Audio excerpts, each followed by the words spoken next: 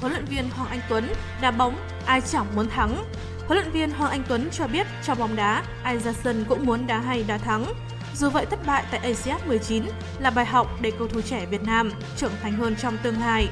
Đội tuyển Olympic Việt Nam với đội hình trẻ nhất ASEAN 19, tuổi trung bình 20,3 đã dừng chân ở vòng bảng ASEAN sau khi thắng Olympic Mông Cổ 4-2, rồi thua cả hai trận sau đó trước Olympic Iran 0-4 và Olympic Saudi Arabia 1-3.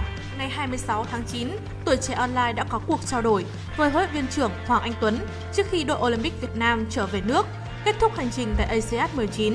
Ông Tuấn nói, cái được lớn nhất của các cầu thủ trẻ là có thêm kinh nghiệm khi đá với đối thủ mạnh và đá hay như thế.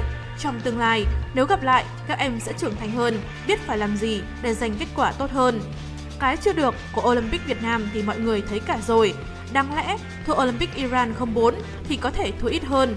Những tình huống các em để thủng lưới đầu trận, cuối trận, đầu hiệp, cuối hiệp cứ diễn ra liên tục, ông nói thêm.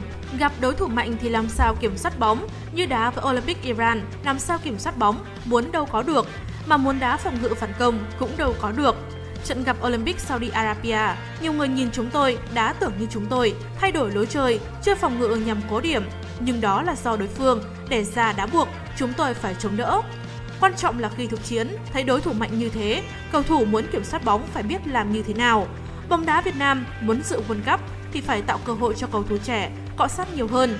Nếu chúng ta nghĩ mình tiến thì người ta cũng tiến thì tôi đừng làm nữa. Dĩ nhiên là muốn tiến bộ thì cần phải cả một quá trình dài.